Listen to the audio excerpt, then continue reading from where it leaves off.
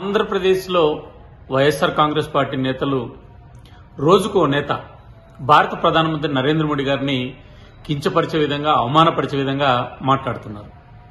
మొన్న గుడివాడ అమర్నాథ్ గారు విశాఖపట్నంలో మేము సోనియా గాంధీ గారినే జగన్మోహన్ రెడ్డి గారు జయించారు నరేంద్ర మోడీ ఎంత అని అన్నారు.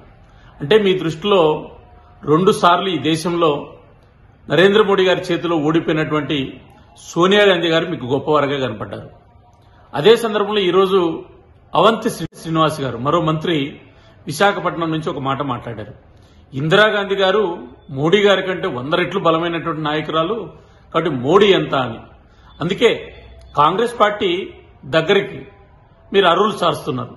మాకేం అభ్యంతరం లేదు. మీరు కాంగ్రెస్ నుంచి పుట్టినటువంటి మరొక కొమ్మ కదా. అదే సందర్భంలో మీరు ఇందిరాగాంధీతో గారితో నరేంద్ర మోడీ గారిని పోల్చడం అంటే ఈ దేశంలో ప్రజాస్వామ్యాన్ని కూనీ చేసి ఇందిరాగాంధీ గారు రాత్రి రాత్రి ఎమర్జెన్సీని తీసుకొచ్చారు. మీరు ఈరోజు వైసీపీ పాలనలో మీ నాయకుడు జగన్మోహన్ రెడ్డి గారు కానీ మీ మంత్రులు కానీ మీరు కానీ వ్యవహరిస్తున్నది కూడా అప్రకటిత ఎమర్జెన్సీనే కదా ఆంధ్రప్రదేశ్లో వ్యవస్థలన్నీ కూని చేయడం దౌర్జన్యాలు చేయడం రాజ్యాంగ వ్యవస్థలను అగౌరవపరచడం చివరకు ఉపరాష్ట్రపతిని అవమానం చేయడం ఎన్నికల కమిషన్ అవమానం చేయడం రాజ్యాంగాన్నంతా కూడా ఈరోజు తమ చేతిలోకి తీసుకుని తమ చెప్పు చేతుల్లో ఆడింది ఆట పాడింది పాట వ్యవహరిస్తున్న తీరుంది కదా. కాబట్టి మీకు ఇందిరాగాంధీ గారితోటే పోలిక ఉంటుంది. ఆంధ్రప్రదేశ్లో అప్రకటిత ఎమర్జెన్సీని మీరు నడిపిస్తున్నారు కాబట్టి ఒప్పుకుంటున్నారు.